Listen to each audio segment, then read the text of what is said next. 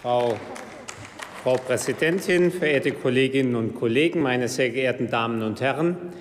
Wer von Santiago de Chile aus Richtung Süden reist, die Ufer des Rio Maipo überquert, vorbei an Nationalparks in ein Plateau unweit des Vulkans Nevado de Longavi gelangt, dem bietet sich ein wirklich unwirklicher Kontrast. Denn die Schönheit der Landschaft darf nicht über den Schrecken des Ortes, darf nicht über den Schrecken der sogenannten Colonia Dignidad hinwegtäuschen. Eine selbsterklärte Kolonie der Würde, die zum Verlies, Trauma und Schicksal von Hunderten Deutschen und Chilenen wurde.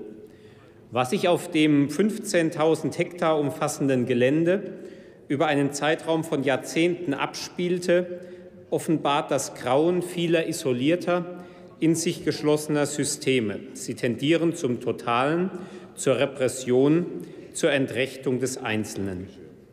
Im Rahmen einer Delegationsreise des Rechtsausschusses begegneten Parlamentarier aus diesem Hause einigen der im Inneren gebrochenen Menschen, deren Leben bis heute von den Kerben der Schreckensherrschaft Paul Schäfers geprägt ist. Missbrauch, Folter, Zwangsarbeit, die Liste der Verbrechen der Führungsriege ist lang und unerträglich. Einige der tiefsten Verletzungen der Opfer sind für uns nicht sichtbar, aber im persönlichen Gespräch sehr wohl spürbar. Besonders betroffen macht mich etwa, dass Kinder kurz nach der Geburt von ihren Eltern getrennt wurden, ein das Urvertrauen zerstörender Akt, der dazu führte, dass für die Betroffenen nie eine normale Eltern-Kind-Beziehung entstehen konnte. Darüber hinaus fügt die Zusammenarbeit der Täter mit dem Pinochet-Regime dem Verbrechen eine politische Dimension hinzu. Das inszenierte Bild einer vermeintlichen Idylle sollte die Öffentlichkeit davon ablenken, dass auf dem Areal mit chemischen und biologischen Waffen experimentiert, Massengräber angelegt und Geheimdienstarchive geführt wurden.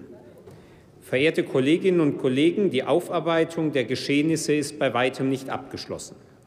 Mit dem vorliegenden Antrag wollen wir den Prozess der Aufklärung vorantreiben, Opfer unterstützen und Bildungsarbeit fördern. Im Rahmen der deutsch-chilenischen Beziehungen soll eine Kooperationsstrategie erarbeitet werden, die Licht in den Schatten dieses dunklen Kapitels wirft. Die Förderung von Menschenrechts- und Bildungsprogrammen soll hierbei einen Schwerpunkt bilden, um die Geschehnisse für nachwachsende Generationen erfahrbar zu halten.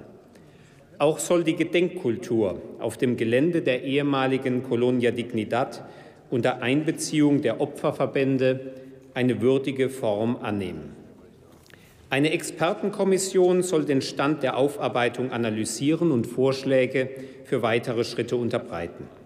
In diesem Kontext trägt der Antrag der Bundesregierung auf, bis zum 30. Juni des kommenden Jahres die Finanzierung einer Begegnungs- und Gedenkstätte zu prüfen. Des Weiteren wollen wir die Stärkung der psychosozialen Betreuung beschließen, um die seelische Heilung der Opfer zu unterstützen und ihnen die Rückkehr in den gesellschaftlichen Alltag zumindest einen Schritt weit zu erleichtern. Als Schlussstein der Unterstützungsmaßnahmen soll die Einrichtung eines Hilfsfonds durch eine dafür einzurichtende interministerielle und interfraktionelle Kommission geprüft werden, um auch den finanziellen Nöten der Opfer Rechnung zu tragen. Die Richtlinien werden unter der Beteiligung von fachkundigen Nichtregierungsorganisationen und betroffenen Opferverbänden skizziert. Von Entschädigung sprechen wir indes nicht, denn die Verbrechen spielten sich auf ausländischem Boden ab. Die deutsche Diplomatie trifft jedoch eine Mitverantwortung.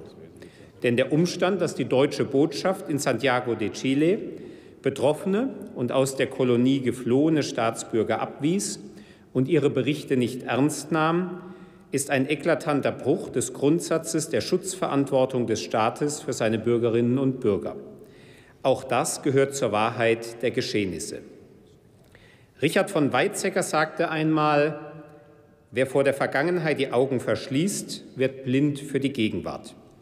Wir wollen mit dem vorliegenden Antrag die Grundlage dafür schaffen, dass die Augen vor der Vergangenheit weiter geöffnet werden, damit den Opfern eine Zukunft geboten wird. Das, meine Damen und Herren, sollte Fraktionsgrenzen überwinden, um ein einmütiges Signal aus diesem Hohen Hause an all jene zu senden, die unter diesem Unrecht litten und nun Hoffnung in uns setzen. Ich danke Ihnen. Vielen Dank, Herr Kollege Habert. Liebe Kolleginnen und Kollegen, wie Sie sehen, haben wir im Präsidium einen Wechsel. Wir machen jetzt gemeinsam dann die letzten Tagesordnungspunkte. Ich benutze das als Überleitung, weil die Kollegin Ulla Schmidt jetzt gerade eineinhalb Stunden in einer außerordentlichen Konzentrationsleistung eine Vielzahl von Abstimmungen durchgeführt hat, gemeinsam mit Ihnen. Und da wollte ich hier einfach meine Hochachtung aussprechen. So, Jetzt machen wir weiter und das Wort hat der Kollege Harald Petzold für die Fraktion Die Linke.